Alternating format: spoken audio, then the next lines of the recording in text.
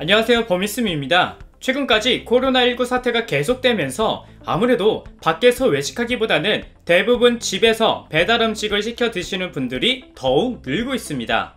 하지만 배달 음식을 시켜 먹는 것까지는 좋은데 음식을 시킬 때마다 담겨있는 플라스틱 용기가 4, 5개는 기본으로 나오기 때문에 또 이걸 어떻게 처리해야 할지 걱정하는 분들도 많은데요. 대부분 잘 세척해서 분리배출하고 계실 거예요. 근데 문제는 쓰레기를 제대로 분리배출하지 않고 한 번에 담아서 내놓거나 또는 무단 투기하는 일부 사람들 때문에 지금 현재 애꿎은 주민들만 피해를 보고 있다고 합니다. 왜냐면 쓰레기를 수거해가는 업체가 분리배출이 제대로 안 되어 있는 쓰레기에 대해서 현재 수거를 거부하는 상황이 발생했기 때문인데요. 최근 경기도 수원시 팔달구에서는 분리배출 규정을 어기거나 무단 투기한 생활 쓰레기는 수거하지 말라고 관내 자치구에서 지시했기 때문에 수원시 곳곳에는 이렇게 수거되지 않는 생활 쓰레기가 쌓여가고 있다고 합니다. 그러니까 이제는 연대 책임을 묻겠다는 이야기예요. 근데 수신 거부 스티커를 붙인 쓰레기를 다시 되찾아가야 하는데 실제로 찾아가는 사람이 적어서 인근 상가나 주변에는 심한 악취가 진동하고 각종 벌레들까지 들끓고 있다고 해요.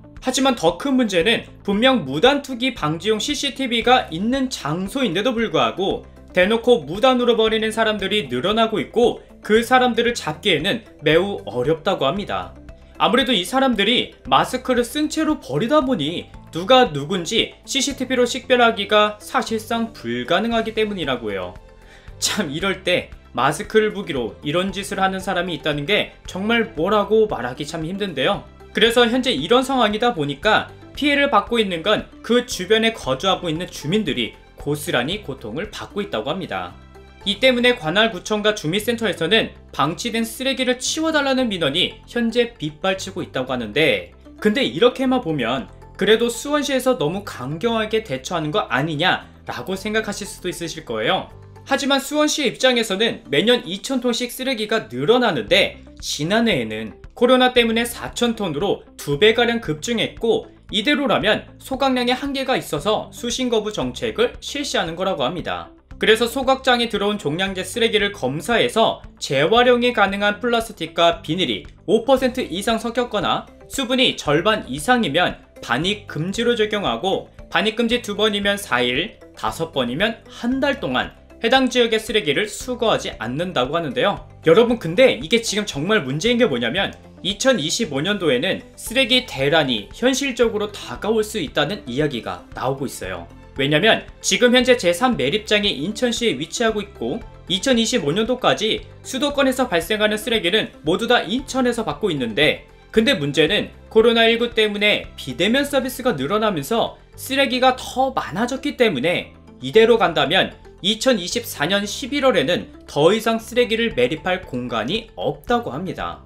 그럼 제2의 쓰레기 다란이 발생하는 거예요. 솔직히 제가 환경운동가는 아니지만 그래도 제가 평소에 이런 거는 일반 쓰레기로 버리셔야 한다. 저런 거는 분리수거 하셔야 한다. 이렇게 구독자분들이라도 분리배출을 잘 해주시길 바라는 마음으로 영상을 자주 올렸는데 여전히 분리배출을 하지 않고 섞어버리거나 무단 투기하는 분들이 많습니다. 그래서 마지막으로 쓰레기 무단 투기 신고 포상금에 대해서 말씀드리고 마칠게요. 먼저 쓰레기 무단 투기 신고가 뭐냐면 쓰레기를 불법으로 투기하는 상황을 사진 촬영해서 각 지자체에 연락하면 신고자에게 과태료 금액의 20%를 포상금으로 지급하는 제도예요. 그래서 지역마다 금액의 차이는 조금씩 있겠지만 보시는 사진처럼 최소 만원부터 최대 40만원까지 현금으로 포상금을 받을 수 있습니다. 근데 여러분들이 거주하시는 각 지자체에 연락하는 게 조금 어려울 수 있어요.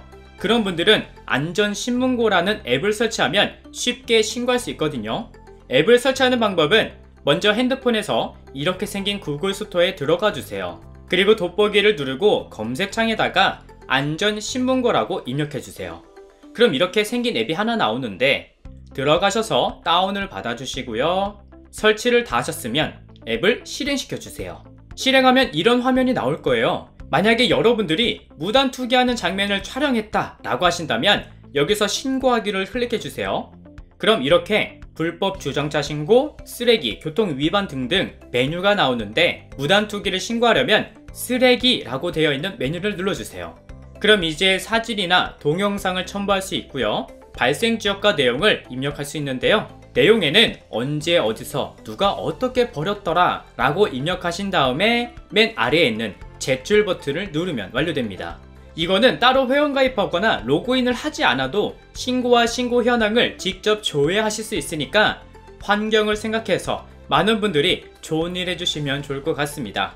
그리고 저번에 구독자 한 분께서 이런 글을 남겨주셨어요. 여기서 와닿았던 부분이 정부에서 분리배출에 대한 정확한 영상 하나 제작해서 올려주면 1시간이든 10시간이든 끝까지 다 볼 수 있으니까 정확히 정리해줬으면 좋겠다는 말씀을 남겨주셨는데 이건 정말 저도 공감하는 부분입니다. 현재 분리배출에 대한 내용이 지자체마다 다 다르기도 하고 너무 많아서 분명히 혼동되는 부분도 있는 것 같습니다.